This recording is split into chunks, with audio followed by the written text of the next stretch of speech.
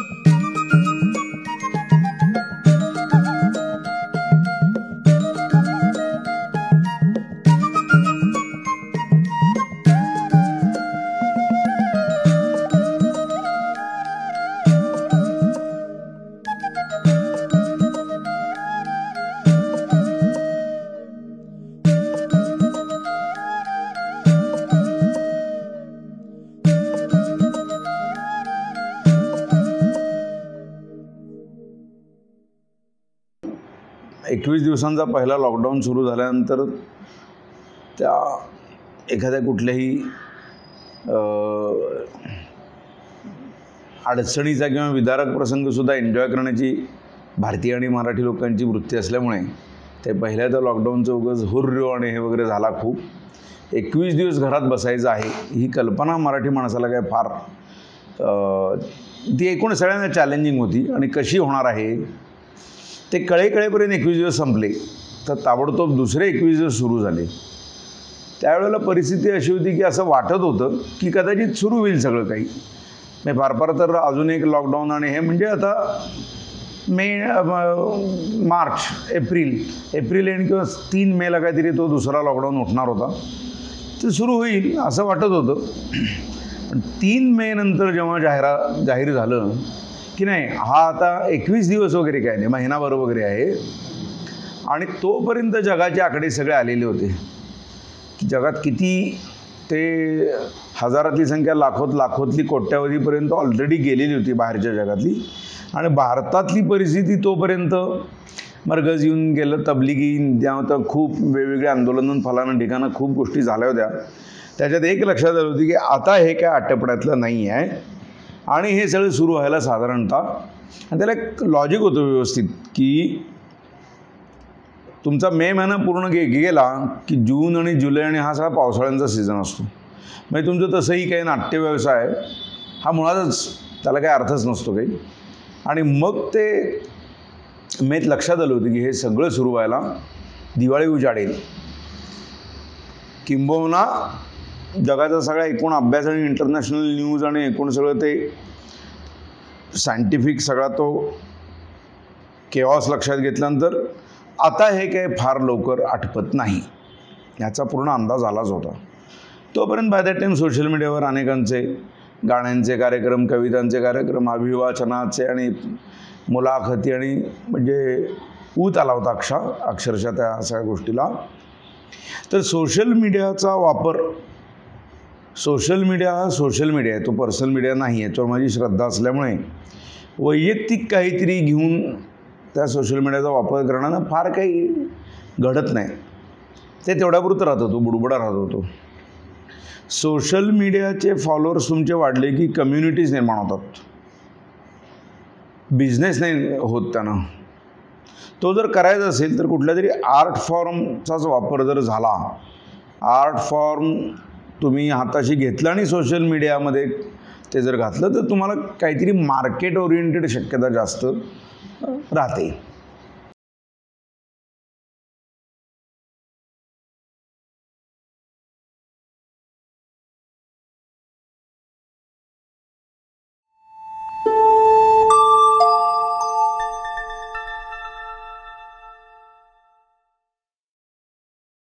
तर समजा नाटकच लाईव्ह करता आलं तर काय होईल? कसं करता येईल? आणि एक कल्पना डोक्यात आल्यानंतर ऑब्व्हियसली ती असंख्य शक्यतांना घेऊन येते. आणि बऱ्याच वेळेला लोकांचं साध्या मुलाखतीला किंवा ह्याला सुद्धा कॅमेरा आणि हे लावत असताना सोशल मीडियाची फ्रेम सेट करत असतानाही त्या स्पेसचा वापर कसा होऊ शकतो कलात्मक याचं फार काही मी कोणाचं काही पाहिलं नाही. आणि मला नेहमी असं वाटतं की त्याचं दृश्य माध्यम म्हणून त्याचं खूप त्याचं व्हिज्युअल सेन्स आणि त्याचं पॉवर आहे. तर तुम्ही त्या स्पेसचा अधिक कलात्मक वापर करून तुम्हाला कॅरेक्टर किंवा म्हणजे नाटक तर ते मुळात त्या त्या छोट्याशा विंडोमध्ये सुद्धा नाटक करता येऊ शकतं. तर ते येऊ शकतंच. आणि याच्यावर मला ठाम विश्वास होता. पण टेक्निकली कसं करता येऊ शकतं? नाटकं समजा जर ऑनलाईन केलं तर जगाच्या कानाकोपऱ्यात लोकांना एक घर बसल्या नाटकाचा आनंद देता येण्याची शक्यता आहे. असं मला शंका आल्यावर मी जवळपास महिना दीड महिना त्याच्यावर टेक्नॉलॉजिकल आर एन डी केला. कल्पना डोक्यात आल्यानंतर नाटकाला काय लागतं? पार्श्वसंगीत पाहिजे नेपथ्य पाहिजे वेशभूषा केशभूषा त्या गोष्टी होतात. बॅकग्राऊंड म्युझिक हा महत्त्वाचा भाग होता माझ्यासाठी. म्हणून मी पहिला अजित परबला फोन केला की अरे आता तेव्हा ते झूमवर सगळं सुरुवातीला असल्यामुळे काही त्यातल्या ॲपच्या काही तांत्रिक हार्डल्स होते त्यातले की झूमवर एकाच वेळेस दोन आवाज येत नाहीत क्लॅश होतात. तर ते काय केले की तसं होईल. एक एक एक एक सगळे माझे अतिशय धुरंधर हुशार मित्र याच्यामध्ये एकत्र येते माझा सुश्रुत कुलकर्णी पुण्यातलाच कम्प्युटरचा निष्णात मित्र आहे त्याला विचारत सगळ्यांनी कल्पना भयंकर आवडली. की अरे लाईव्ह नाटक करून बघूया एक एक्सपेरिमेंट कुठली अडचण आणि काय? म्हणून आम्ही खूप छोट्या छोट्या गोष्टींचे एक्सपेरिमेंट घरामध्ये करायला सुरुवात केली की हे होते का बघू? आज ही गोष्ट सॉल्व्ह होते का बघू? काय केलं की हे होईल? असं करत करत हेमंत शिंदे आमचा ग्राफिक डिझायनर अतिशय निष्णात माणूस आहे यातला हे सगळे त्यांच्या त्यांच्या क्षेत्रातले अत्यंत हुशार माणसं आहेत. आणि त्यांना पण सगळेच लॉकडाऊनमध्ये घरी बसलेत. काहीतरी डोक्याला चालना. आणि टेक्निकली हे पॉसिबल आहे. हे आम्ही फार क्विकली त्याच्यावरचा अभ्यास करून आमच्या लक्षात आल्यावर मग कुठलं ना नाटक करायचं. म्हणून तेजस रानडेनं मला चार सहा महिन्यांपूर्वी म स्क्रिप्ट लिहिली. तेव्हा तिचं नाव सेफ्टी पिन असं होतं. आणि ते काही मी त्याला सहा महिन्यात पूर्वी मिळालेली स्क्रिप्टचं काही रंगमंचावर जाण्यासाठी त्याचा काही योग फारसा काय आलाच नव्हता. अशा परिस्थितीमध्ये लॉकडाऊनमध्ये आपल्याला जर करायचं असेल तर कन्स्टंट्स खूप आहेत. कोणी कोणाच्या घरी जाऊ शकत नाही कोणी घराच्या बाहेर पडू शकत नाही त्यामुळे एकत्र येण्याची शक्यताच नाही आहे त्यामुळे कलाकार त्यांच्या त्यांच्या घरात घरातून परफॉर्म करतील. म्हणून ती मो सेफ्टी बिनचं नाव मोगरा नंतर आम्ही केलं. तर त्याच्यामध्ये पाच स्त्रियांचे मोनोलॉग्स आहेत आयुष्याबद्दल त्या बोलतात. आणि त्यांच्या सक्सेस स्टोरीज आहेत. अडचणींवर मात करून लाईफ लाईफ कसं सर्वाईव्ह करता येऊ शकतं? तर अडचणी सगळ्यांनाच आहेत. आणि त्यात बायका आहेत म्हणून विमेन एम्पॉवरमेंट आणि स्त्रियांच्या त्या समस्या आणि त्याचा वगैरे असला कसलाही चुथडा त्याच्यामध्ये नाही आहे काही. साधं म्हणजे प्रत्येक माणसाला जगात अडचण असते. आपल्या अडचणीला आपण कसं सामोरं जायला हवं आणि किती सहजगत्या पॉझिटिव्हली आपण अडचणींवर मात करू शकतो. ज्याच्यातल्या ज्या लॉकडाऊनमध्ये सगळ्यात जास्त गरज होती. त्यात कुणी रडत नाही प्रचंड दंगाधोपा करत नाही आणि पार हृदय पिळवटून आणि आथडी बाहेर काढून वगैरे काही आपलं दुःख मांडत नाहीत. आणि म्हणून ते अत्यंत अडचणींवर मात करण्याची सकारात्मक दृष्टी आणि तो सहज जाता जाता सहज गप्पा मारत मारत असं खूप आनंददायी असं ते सगळं स्क्रिप्टिंग आवश्यक तसं करून घेतलं. पाच आयुष्य पाच वेगवेगळ्या घरांमधून पाच वेगवेगळ्या पद्धतीनं वेगवेगळ्या पर्स्पेक्टिव्हमध्ये सादर करतात ते स्टेजवरून इनफॅक्ट खूप खर्चिक झालं असतं. खूप त्रासदायक झालं असतं. पण तुम्ही विचार करा पाच वेगळीच घरं दिसतात आपल्याला. पाच वेगळी डायमेन्शन्स दिसतात. आणि रिअल नॅचरल सगळ्यात गोष्ट म्हणजे स्टेजवर सुद्धा प्रत्यक्ष नाटक सादर होतानाचा एक डेकोरम आहे. पात्रांनी कसं बसायचं आहे उठायचं आहे किंवा काय वगैरे. पण इथे कसं की घरात बेडरूममधलाच सीन आहे आणि स्पृहा त्या बेडरूमवर व्यवस्थित आडवं पडून तुमच्याशी छान हाताच्या कोपऱ्यांवर रेलून तुमच्याशी बोलते. हे कंपोजिशन तुम्हाला स्टेजवर शक्यच नाही कधी आणता येणार. त्याचा विज्युअल इफेक्ट मिळूच शकत नाही. अशा खूप व्हिज्युअल सेन्समधल्या स्पेसेस परफॉर्मरसाठी कशा चॅलेंजिंग आणि इंटरेस्टिंग असू शकतात हे सगळं या माध्यमात करून बघता आलं. आणि मग कलाकार सगळे घरात असणार त्यांच्या त्यांच्या घरात त्यांनी करायचं असल्यामुळे हे सगळं ओरावर घेऊन करायला तयार व्हायला पाहिजेत. मग ऑब्वियसली मी आर्टिस्टना फोन करायला सुरुवात केली. वंदनाताईंचं यावर्षी कारकिर्दीची पन्नास वर्ष अभिनयाच्या कारकिर्दीची. म्हटलं परत आता नवीन काहीतरी करण्याची उमेद आहे का? अतिशय उत्तम रोल आहे हा. आणि तब्येत चांगली आहे का? मनाची उभारी आहे का? आणि परत काहीतरी करण्याचा इंटरेस्ट वाटतो का? या सगळ्या गोष्टी महत्त्वाच्या आहेत. कारण हे अन्य कुठल्या कारणासाठी आपण करायला जाऊ हा मुद्दा नाही आहे याच्यात काही नव्हताच असा. पण त्यांची आर्थिक परिस्थिती इतकी उत्तम असल्यामुळे पैशासाठी त्या हे करतील असं काही कारण नाही. तर सहज नकार देऊ शकतात. त्या कुणी? की नाही मला कंटाळा आला आहे मला माझं माझं एन्जॉय करायचं आहे तर नको आता ते काही तालमी बिलमी वगैरे. पण त्या म्हणजे लहान मुलीसारखं चटकन. काय? म्हणलं लगेच मी आहे. असं त्यांनी पहिल्याच झटक्यात मला सांगितलं. कारण असलेला हा वेळ अधिक कसा मस्त एन्जॉय करता येईल प्रोसेसमध्ये काय करायचं? ती संधी नव्हती सोडायची. ही असती खरे. कलाकाराची जी अंतर्गत उर्मी जी असते ना ती नुसती एकट्यामुळे होत नाही ते. मग ऑब्व्हियसली स्पृहा भार्गवी मयुरा पालांडे गौरी देशपांडे. आता ते गौरी देशपांडे म्हणजे त्याच्या साधारणतः बारा पंधरा वर्षापासून साठीच्या एज ग्रुपचा तो सगळा हे आहे तो. तर त्याच्यामुळे गौरी देशपांडे ॲप्रोप्रिएट कासिंग ती औरंगाबादला. म्हटलं हरकत नाही. औरंगाबाद तर औरंगाबाद. औरंगाबादहून घरातनं ती काम करू शकतो. कारण शेवटी टेक्निकलीच आपण करणार आहे ते. आणि मला हा आणखीन एक एक्सपेरिमेंट की आपण थिएटरमध्ये जाऊन जे नाटक बघतो तसं हे दिसणार नाही आहे. पण ते लाईव्ह नाटक आहे. मग आमच्या सुरुवातीला तो रंगमंचाचा पडदा आहे अनाऊन्समेंट आहे सगळ्या नाटकासारख्या गोष्टी आहेत. पण तरीसुद्धा इंटरनेट आणि कॅमेरा या थ्रू ते लाईव्ह नाटक बनतं तर काहीतरी ब्रिजिंग आहे टेक्नॉलॉजीचं म्हणजे थेट नाटकासारखं नाही आहे तर हा फॉर्म वेगळा आहे काहीतरी हा होणार वेगळा. कारण तो इमॅजिन करून झाला होता की हे कसं दिसणार आहे. मग नाटकाशी साधर्म्य आहे पण नाटक नाही. तर हा फॉर्म काय अस काय ह्याला नाव ह्याचं बारसं काय करायचं आहे? तर नेटवरचं नाटक त्याच्यामुळे नेटक हा शब्द कॉईन झाला. आणि तो प्रचंडच. लोकांना तर भयंकरच तो आवडला त्यांना सगळ्यांना असं आलं की अरे हे काय भानगड आहे ही? नेटक आणि हे वगैरे. तर नेटवरचं नाटक. की समोर आपण बसलो आहे आणि बघतो आहे ही गोष्ट घडणार नव्हती. पण हे नाटक आत्ता आपल्यासाठी लाईव्ह चाललं आहे आत्ता मी बघतो आहे हे कुठंतरी कलाकार सादर करतात आणि ते आत्ता माझ्यासाठी आत्ता या क्षणी करतायत. हा यू एस पी त्यातला सगळ्यात महत्त्वाचा होता. प्रत्यक्ष नाटक बघतानाच्या ज्या गोष्टी शक्य नाही आहेत त्याची नोंद एका बाजूला होतीच. पण या फॉर्मॅटमध्ये काम करायला लागल्यानंतर काय ह्याच्यामधनं एरवीच्या नाटकात जे मिळत नाही ते इथं शक्य आहे. त्याची यादी खूप मोठी निघाली. त्याच्या पॉझिटिव्ह साईड्स पहिली गोष्ट अशी कुठल्याही प्रेक्षकाला गाडी काढून घराच्या बाहेर पडायचं नाही आहे त्याला पार्किंग मग ते जाणं येणं मग त्या वेळा तो मनस्ताप. सगळ्यात महत्त्वाची गोष्ट म्हणजे प्रेक्षागृहात वाजणारे मोबाईल रडणारी मुले कुणीतरी खोकतंय आणि व्यत्यय भानगड नाही. मी माझ्या घरामध्ये मी लोळत बघेन खुर्चीत बसेन सोफ्यात बघेन ए सी लावेन नाही लावेन मला जसं पाहिजे तसं. हां या माध्यमामध्ये म्हणजे थिएटरमध्ये मिळणारा इंटरव्ह्यूचा वडापाव जो आहे तो एवढा फक्त आम्ही देऊ शकत नव्हतो. तो तेवढा प्रेक्षकांनी त्यांच्या त्यांच्या घरात नव्हतो. करणं भाग होतं पण त्याला मध्यंतर आहे. तुम्ही तुमची रंगसंगती तुम्हाला पाहिजे ती अत्तरं लावून तुम्ही तुमचं लाईटिंग करून तुमच्या एकट्यासाठी नाटक आत्ता होतं. आणि सगळेच पहिल्या रांगेतले लोक आहेत.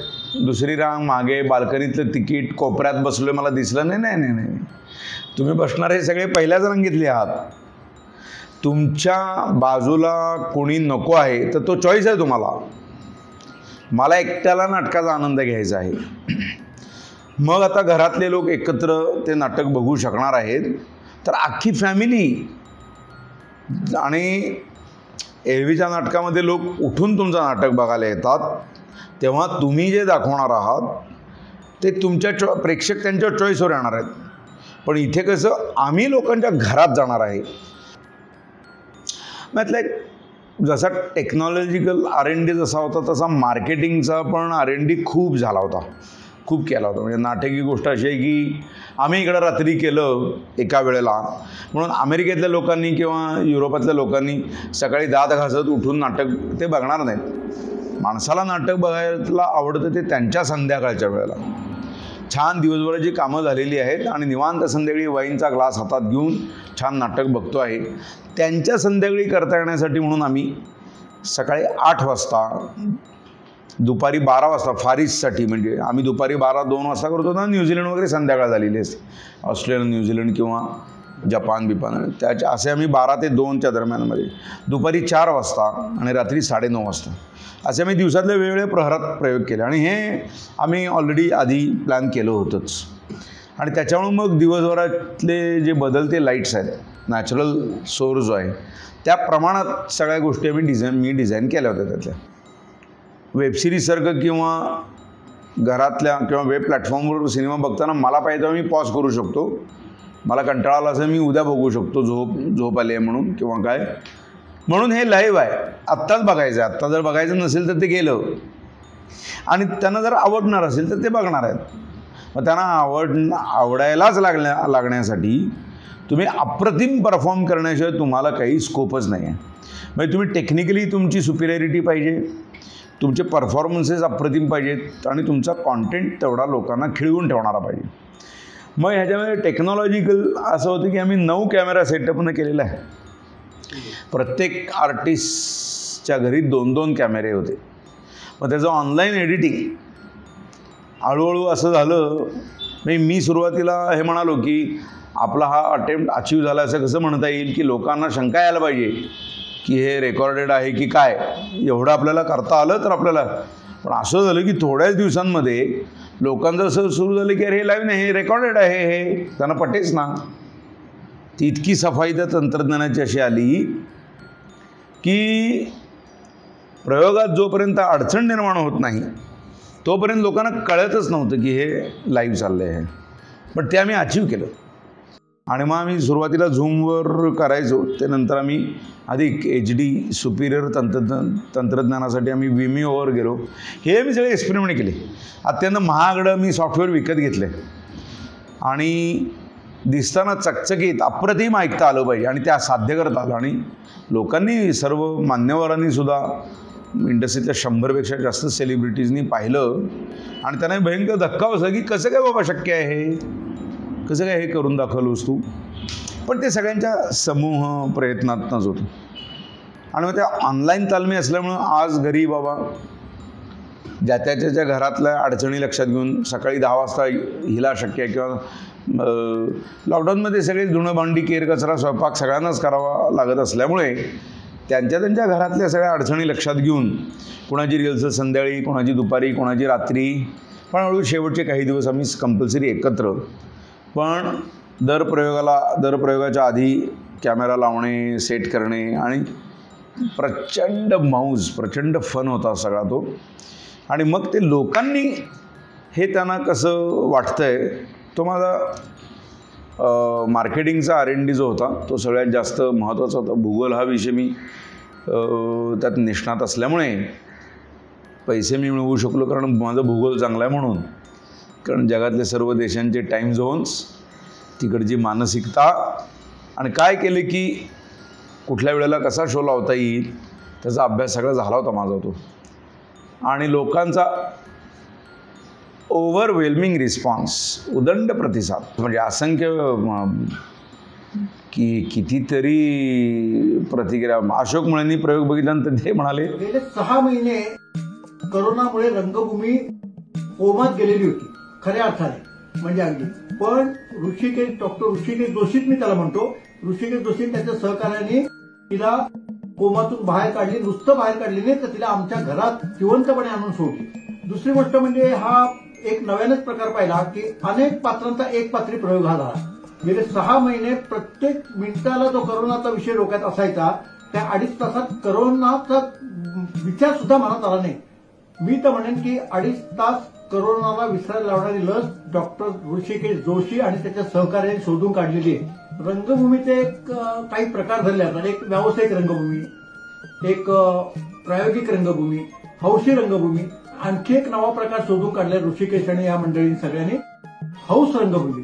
म्हणजे हौस आहे ज्यांना घरी बसून बघायचं नाटक बघायचे हौस आहे ते आपल्या घरात बसून आणि कलाकार सुद्धा आपल्या घरात बसून ही कला सादर करतात म्हणून मी त्याला हौस नाव दिलंय. हौस रंगभूमी.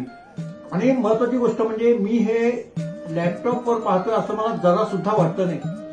शिवाजी मंदिरमध्ये मी पहिल्या रांगेत बसून हे नाटक पाहतोय असं मला वाटतं. लेखक तेजसने इतकं सुंदर नाटक लिहिलेलं आहे की कलाकारांचा अभिनय बघताना त्यांचं संवाद त्यांचा ऐकताना कुठेही पेहराव त्यांचा म्हणा किंवा मेकअप या गोष्टी आमच्या लक्षातच आल्या नाही इतकं वास्तववादी झालेलं आहे. याला कारण तेजसचं लिखाण हे आहे हे नोंद करायला हवी याची. कलाकारांचं कौतुक तर आहेच वादच नाही पण सगळ्यात कौतुक करायला पाहिजे तंत्रज्ञ मंडळीचं. कारण हे सगळं ज्याने त्याने आपापल्या घरात ते औरंगाबादला एक ठाण्याला एक गोरेगावला असं सगळ्यांना त्यांच्या त्यांच्या घरात बसले अभिनय करत असताना तो आमच्या घरात आणून टाकला आहे तंत्रज्ञानाने. तेव्हा त्यांना खरोखरच एक वेगळा पुरस्कार द्यायला लागेल. माझा मी स्वतःचा माझा पुरस्कार देतो बाकी कुठल्याही क्षेत्रातल्या लोकांना माहिती नसेल पण मराठी रंगभूमीला तर नक्की माहिती झाली की गेली बारा वर्ष मी देतोय. आता जानेवारी जो नव्याने मी सुरू करीन माझा पुरस्कार त्याच्या ह्या संपूर्ण टीमला मी हा माझा पुरस्कार देणार. आहे आणि सगळ्यात महत्वाची गोष्ट म्हणजे या नाटकाच्या याने आम्हाला छोट्या पडद्याला एक मराठीतला ऋषीदा मिळाला. आणि तो म्हणजे ऋषिकेश जोशी. आणि कौशल इनामदार म्हणाला होता की डिजिटल मोगरासुद्धा डिजिटल मोगऱ्याचासुद्धा सुगंध असा दरवळेल असं वाटलं नव्हतं. खूप जणांच्या प्रतिक्रिया आहेत. असंख्य जणांनी असंख्य प्रतिक्रिया दिलेल्या आहेत.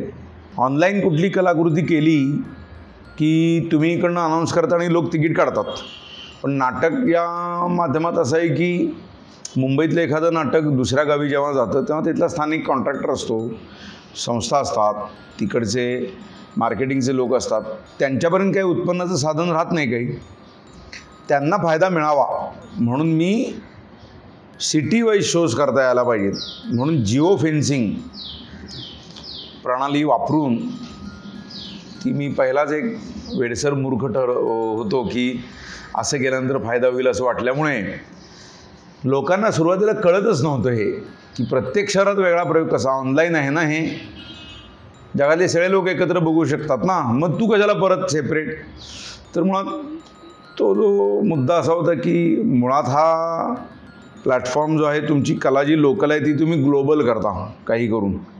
मला मुळात मुद्दाहूनच उलटं करायचं होतं की हा ग्लोबल प्लॅटफॉर्म आहे तो मला लोकल लोकली जर आणला मुंबईत प्रयोग मुंबईतलेच लोक बघत आहेत त्याची एक वेगवेगळी कारणं होती. एकतर जास्त संख्या झाली तरच मला कलाकारांना मानधन देता येणार होतं. जास्त प्रयोग झाले तर त्यांना उत्पन्नाचा फायदा आहे ना. तर त्याचे मल्टिपल फायदे होते त्याचे. जास्तीत जास्त प्रयोग केले तर सर्व टीमला दर प्रयोगाचे म्हणून मानधन देता येणार होतं. हा काय एकट्यानं पैसे मिळवण्यासाठी केलेला उपक्रम नव्हता. ज्याच्यामध्ये एक कलात्मक अनुभव मिळावा त्याचा आनंद मिळावा काहीतरी वेगळं हातून घडतं आहे ज्याचं आपल्याला ती प्रोसेस अनुभवता यायला हवी. आणि जर त्यातनं आर्थिक उत्पन्न होतं आहे तर ते सगळ्या सर्व दूर व्हायला हवं. अनेक गरजूंना पण पैसे आपल्याला देता यायला हवेत. कलाकारांना तर या आणि अख्ख्या टीमला ते उभे करता यायलाच हवेत. तेवढं आपल्याला सक्षम जर होता आलं तर उत्तमच गोष्ट आहे ती. मग जास्तीत जास्त प्रयोग होणं गरजेचं आहे. आता जेवढ्या लोकांनी प्रयोग आत्ता पाहिला जे स्टॅटिस्टिक्स माझ्याकडे जे आहे सगळा जो डेटा आहे कदाचित त्या सर्व प्रेक्षकांनी दहा माझ्या प्रयोगामध्ये सुद्धा बघितलं असतंच. म्हणजे प्रत्येक ह्याला जर दोन दोन हजार प्रेक्षक आले असते तर दहा प्रयोगात झालंच असतं. पण तसं नव्हतं करायचं ते. कारण त्या त्या शहरात गेल्यानंतर तिथल्या स्थानिक कंत्राटदाराला त्याचा फायदा व्हायला हवा. म्हणून मी दहा टक्के कमिशनवर सगळी योजना केली होती. त्यामुळे जगभरात कोविड जगभरात सगळीकडेच आहे. त्यामुळे ऑस्ट्रेलिया न्यूझीलंडपासून ते अगदी पार दक्षिण Korea entire far east entire gulf entire Europe आणि यू एस तिथल्या सर्व लोकांनी म्हणजे ज्यांच्या ज्यांच्याबरोबर कोलॅबरेशन केलं होतं त्यांना उत्पन्नातले दहा टक्के मिळणार असल्यामुळे त्यांनी त्यांच्या तिथे लोकलाईट खूप एफर्ट्स घेतले. त्यांच्या हाताखालची माणसं काम करू लागली. त्यामुळे अत्यंत पॉकेट्समधल्या सर्व मराठी लोकांपर्यंत पोचता आलं. अनेक संस्थांना वर्षभरातले उपक्रम घेतलेले असतात सभासद नोंदणी करून. कुणाला काही उपक्रमाचं काही कारण नव्हतं. या निमित्तानं त्यांना उपक्रम देता आला प्रेक्षकांच्यासाठी.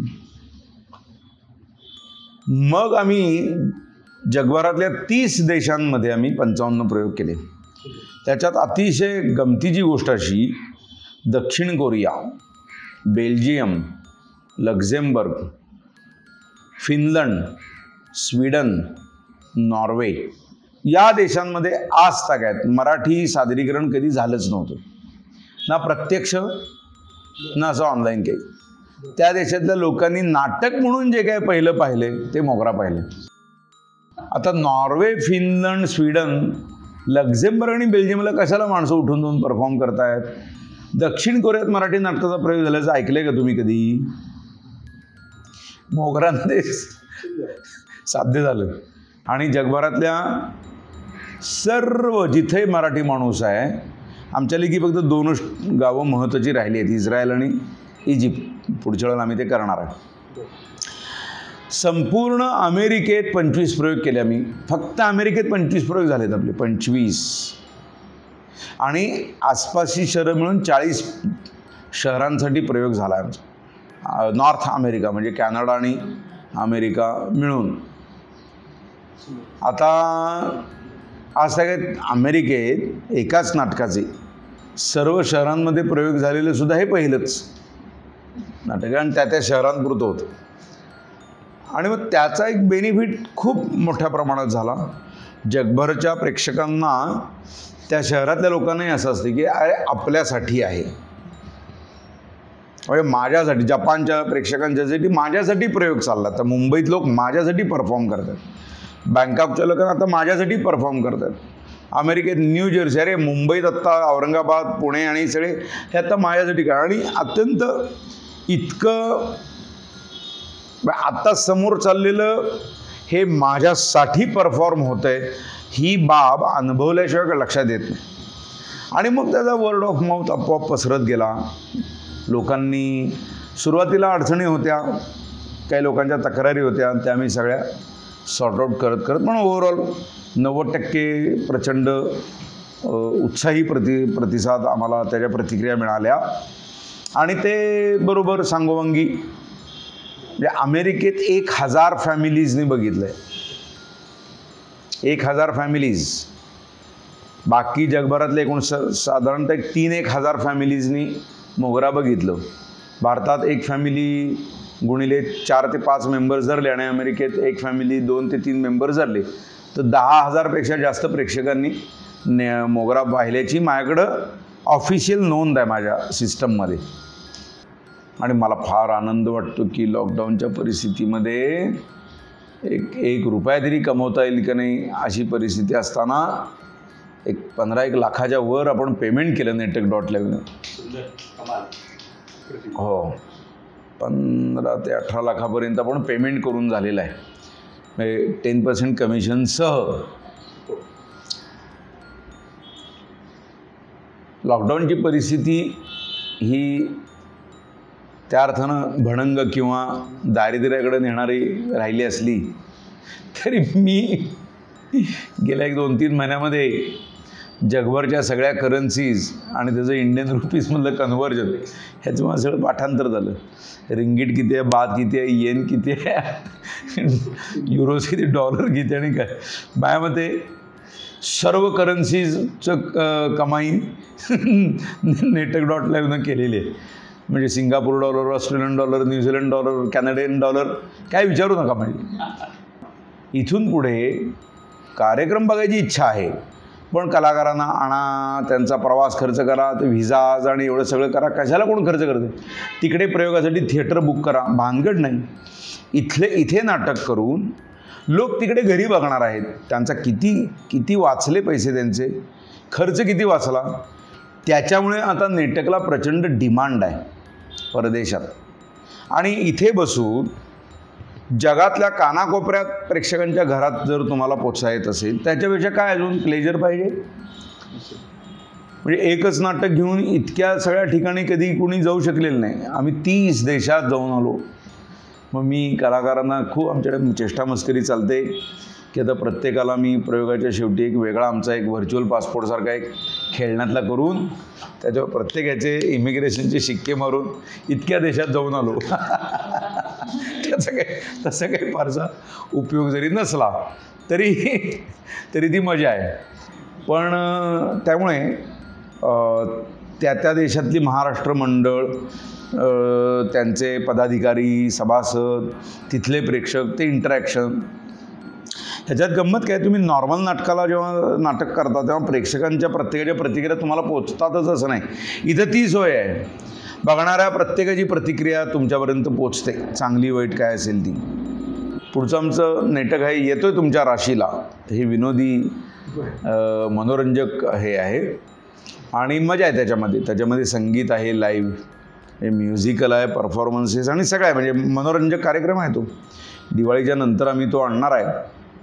आणि त्याच्याही पुढचं आमचं हे ठरलेलं आहे काय करायचं आहे ते. आणि स्वांत सुख आहे. लोक आपापल्या घरात आहेत. आता आधीपेक्षा आता याचं फॉर्मॅट वेगळा आहे. आता याच्यात हे जरा आणखीन वेगळ्या पद्धतीचं तंत्रज्ञान आहे याच्यामध्ये. नेटक हे मी कॉपीराईट करून घेतला नेटक डॉट लाईव्ह माझं स्वतःचं थिएटर आणि आता आमची स्वतःची वेबसाईट असल्यामुळे आता असं म्हणायला हरकत नाही की आमचं स्वतःचं थिएटर आहे. जगातले कुणीही लोक त्यांचं हे करण्यासाठी आमच्या प्लॅटफॉर्मच्या माध्यमातून ते त्यांची कला सादर करू शकतात. आता आमचं स्वतःचं तिकिटिंग विंडो पण सुरू होईल. म्हणजे तुम्ही नेटक डॉट लाईव्हवर तिकीट काढा नेटक डॉट लाईव्हवरच तुम्ही बघा नेटक डॉट लाईव्हनं निर्मिती केलेलं बघा किंवा अन्य कोणी निर्मिती केलेलं आमच्या थिएटरमध्ये जो प्रयोग सादर करणार आहे त्यांच्याहीसाठी उपलब्ध केलेला आहे प्लॅटफॉर्म तो. त्यामुळे जगामध्ये जे पाच सहा असे ज्यांचे स्ट्रीमिंग प्लॅटफॉर्म्स आहेत त्या अशा पाच सहा लोकांमध्ये एक मी मराठी माणूस असा आहे की त्याचा स्वतःचा स्ट्रीमिंग प्लॅटफॉर्म आहे आणि इतरांच्यामध्ये आणि आपल्या नेटक डॉट लाईव्हचा फरक काय? की आपण प्रोग्राम देतो. बाकीच्यांचे फक्त स्ट्रीमिंग प्लॅटफॉर्म्स आहेत.